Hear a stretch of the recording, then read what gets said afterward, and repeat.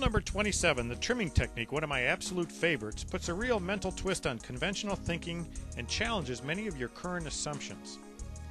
The trimming technique proactively targets elements of your design or process to eliminate or trim. Common reasons to consider trimming include cost or complexity reduction, problematic components or process steps, circumventing patents, and creating new niche markets. In this section of the workshop, you will learn and see many examples of six uniquely powerful trimming rules. These rules can be used to get rid of any part of any system or any step in any process. Sounds impossible, but can be done. In trimming, we often use function modeling techniques to better understand the situation and prepare for trimming. Here is a function model we created earlier for a cooling system and a projector. As you remember, the power supply powers the motor. The motor rotates the fan, the fan cools the bulb, and the bulb projects light. We have a bracket that holds the motor, humidity that corrodes the bracket, and a motor that vibrates the bulb. Can we trim the fan? Let's look at the six trimming rules. As we have already learned, the first of six rules has the problem solver figure out how to get other parts of the system or supersystem to pick up the slack of the trimmed component. So, the fan cools the bulb. If the fan is trimmed, we must now figure out how any of the other components can cool the bulb. Any ideas? Can you think of a way to get the motor, power supply, bracket, humidity, or even the light to cool the bulb. At least two practical ways exist. Rule number four of six has the problem solver figure out how to get by without the function. Again, the fan cools the bulb. If we don't have to cool the bulb, we don't need the fan. Can you come up with a concept where you don't have to cool the bulb? At least two practical ways exist.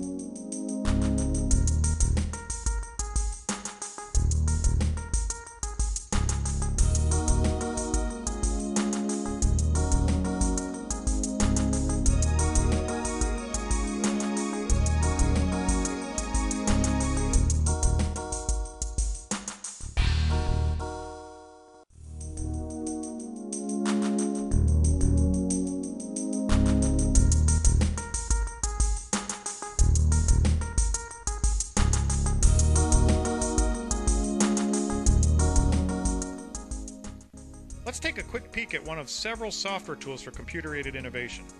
This particular one has a module with a uniquely organized, comprehensive database of over 8,500 scientific effects and technical examples. The beauty of this database is threefold. One, it's organized by function.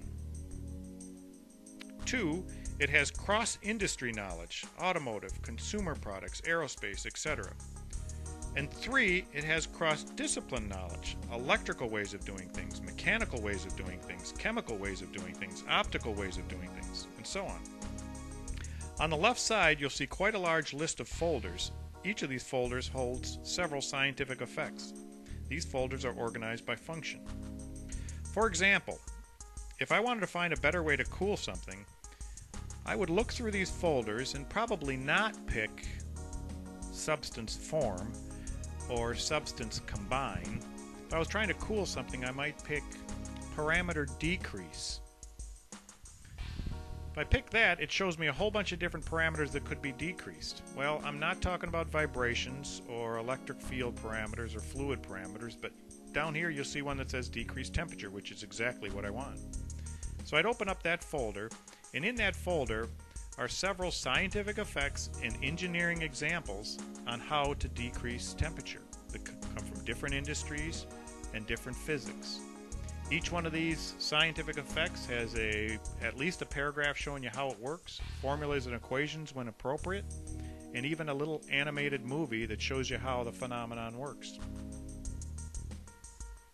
Pretty neat, huh?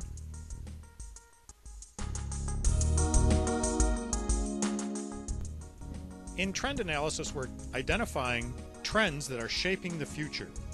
As an example, if you were in the appliance industry designing a next generation refrigerator, the development team must identify what trends are happening, directly or indirectly, related to the appliance industry or society in general that may determine the product's success or failure. Examples may include food packaging types, food type, family size, styling themes for interiors, kitchen size, the environmental movement, design for assembly, design for disassembly, energy usage, aging population, mass exclusivity, etc., etc. What can you do to make sure that these trends are not violated, or better yet, what can you do to have your product take a lead position in the dominant trends? With over 25 systematic innovation tools, it can get rather confusing where to start. If you remember, this is precisely why we created the tool selection matrix, to help you select the right tool or set of tools that are appropriate for your situation.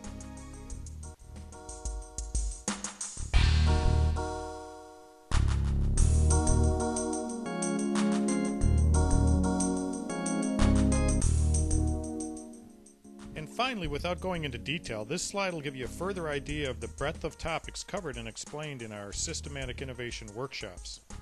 Hit the pause button if you want to review the list.